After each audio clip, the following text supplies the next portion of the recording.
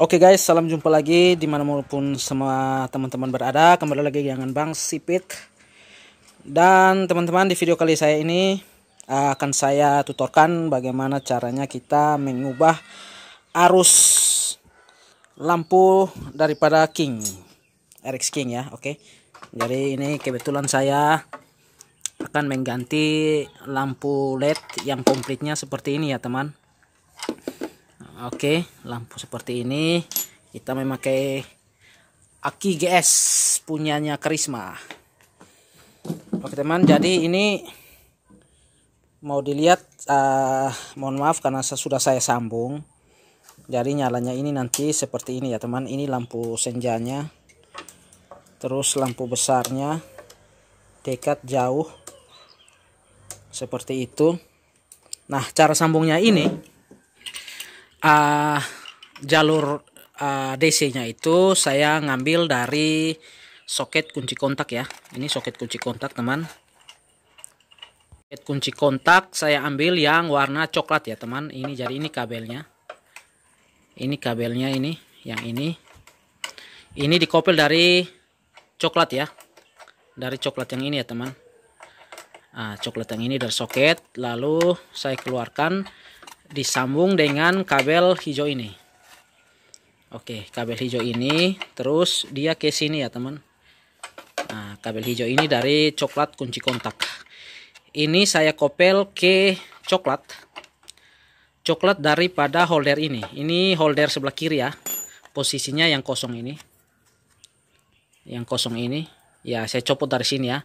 Ini kita bisa lihat kenapa saya copot dari sini. Karena yang berhubungan dengan kuning strap merah ini yaitu yang tengah sini. Ini adalah jalur AC untuk lampu utama. Saya copot dia. Dari ini karena holdernya uh, yang biasa. Jadi kabel kabelnya coklat. Coklat ini ya teman. Ini langsung jadi DC lampu utamanya langsung jadi DC diambil dari coklat kunci kontak ke coklat holder yang saya copot ini.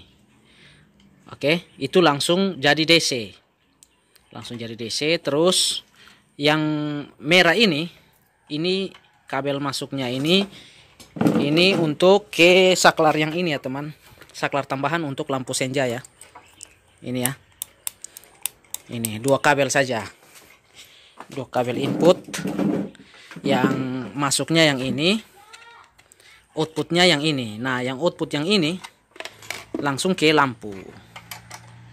Oke langsung ke lampu ini. Jadi lampu kalau lampu ini kabel kuning dan kabel orange ini adalah lampu senja atau lampu sen yang warna kuning tadi di pinggir sini ya teman. Yang di pinggir sini dua kiri dan kanan saya kopel. Harusnya bisa dibikin jadi lampu sen tapi lampu sennya sudah ada teman. Jadi kita bikin jadi lampu senja. Jadi ini output daripada saklar yang di sini. Oke lalu hitam ini adalah masa. Hitam ini masa dan merah ini lampu jauh diambil dari kuning holder terus yang biru ini lampu dekatnya diambil dari hijau holder juga ya oke teman jadi cuman seperti itu cara rubah arusnya jadi hasilnya ini kita kontak on saya hidupkan saklar yang di sini Oke, lampu senjanya kita pakai jadi kuning. Kebetulan velg motor ini juga kuning, teman. Jadi uh, sangat keren. Lalu lampu besarnya, lampu dekat, dan lampu jauhnya sudah DC tanpa motor hidup. Dan pengisiannya masih standar. Cukuplah teman. Yang penting spool dan magnetnya masih asli. Masih ori agar pengisiannya bagus. Kiproknya ini, kiproknya saya pakai bit karbu atau vario karbu ya. Ini masih asli. Beli yang ori ya agar pengecasan akinya bagus. Oke teman, jadi demikianlah kurang lebih ini senenya jadi ya teman. Oke, jadi demikianlah uh, tutorial rubah arus RX King teman untuk lampu bilet ini. Semoga bermanfaat. Sampai jumpa. Ada pertanyaan di kolom komentar dan salam.